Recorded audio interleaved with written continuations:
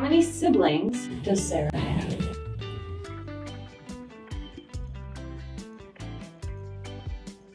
Drawing a family tree. Yeah. All right. At any given point in the day, what is Cailey's go-to beverage choice? Do I even know this? Venice. Name three things that you could find right now in Sarah's desk. Joke's on you. I go into Sarah's desk. She's with permission. Oh.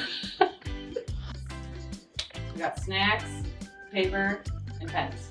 Those are also all true. I have everything in my desk. Okay. I was going very generic office things, but the she's right. Those are true. As a child, for what department store did Cailey mother? what? what? You didn't know you were sitting with A Fame. model. Easy. Okay, that's close, Okay. I gosh, that was my second thought. Really? What kind of animal was Sarah's first pet?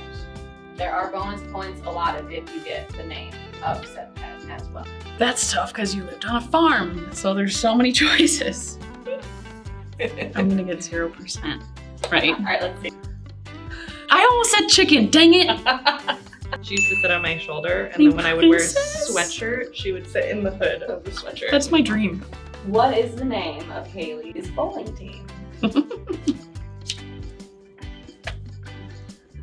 don't think anyone here would know this. So.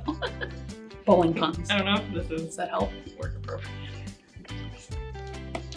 Ball slingers. I do like that. Also, think you should change it to this. But I feel like you like slit, like You know, sling. I thought, it,